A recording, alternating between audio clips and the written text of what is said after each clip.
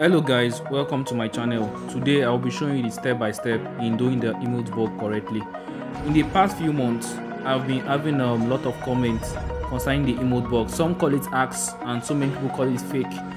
And mind you it's not a hack it's just a bug and you never get banned for doing a bug. It's just like a glitch on to do the emote bug.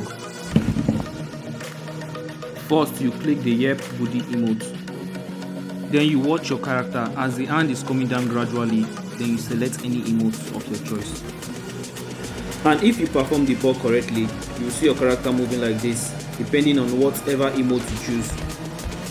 And if you find this video helpful, be sure to subscribe and not just subscribing, turn on notification so you can see any video I post. So stay tuned and enjoy some gameplay and emote bug.